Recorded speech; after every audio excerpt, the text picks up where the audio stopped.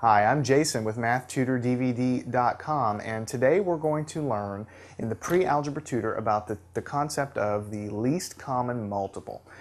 Now, I know that you probably just got done watching the section on the greatest common factor and in your book in your classroom you probably learned greatest common factor and least common multiple really close at the same time.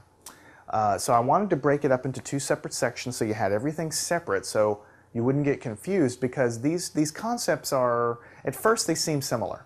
They really are quite different and they're used for different things later on, but now when you just learn both of them, I mean they both involve list of numbers, they both involve picking something common to two lists, so they sort of seem like the same thing. In the greatest common factor, we were listing the factors of a number and picking the largest one common to both lists. That's what we did then. Now in the least common multiple, you have to pick apart the words. Remember how we learned how to write the multiples of a number. We're going to practice that here. We write the multiples of, of number, number one that we have. We write the multiples of the other number that we have. And then we just look for the least, uh, the, the, the common number that's common to both of these lists that happens to be the smallest.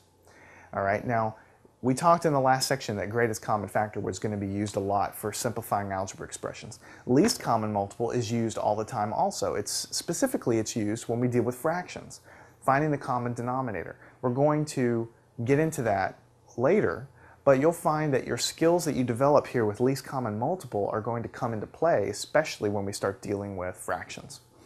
So let's go into it. What is the least common multiple? I've already given you sort of an overview. The least common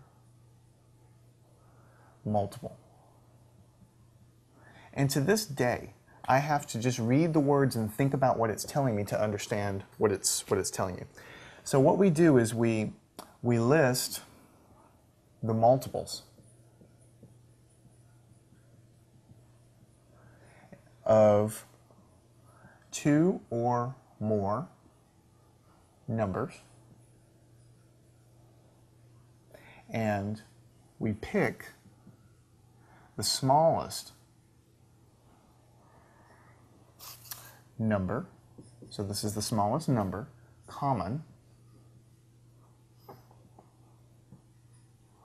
to both. To both lists, in other words. So really, rather than just talk about this all day, I think the easiest thing to do is just to go into to do some examples. So let's say we had the numbers 1 and 3 and we wanted to find the least common multiple. The way to do that is we write two different lists of numbers. First, we write the multiples of the number 1, and we already learned how to do this in a previous section. So if you have forgotten, go back and re- watch that section. But the way we do that, the, the multiples of the number 1 are 0, 1, 2, 3, 4, 5, dot, dot, dot, dot, and keep going on and on. The multiples of the number 3 are 0, 3, 6, 9, 12, 15, dot, dot, dot, dot. So what you're doing here when you write the multiples is you're basically counting by the number. If you were finding the, the multiples of the number 2, it would be 0, 2, 4, 6, 8, 10. If you were finding the multiples of 5, it would be 0, 5, 10, 15, 20, 25, like that. Um, here we're just writing the multiples. Basically, we're counting by the number, and then all we do is we look at our list and we say, what is the smallest number common to both of these lists? The smallest number common to both of these lists other than the number 0. We're never going to pick the number 0. Uh, and so we look here and we say, well, this is the smallest number common to both of those lists other than the number 0. We never pick the number 0. So the least common multiple is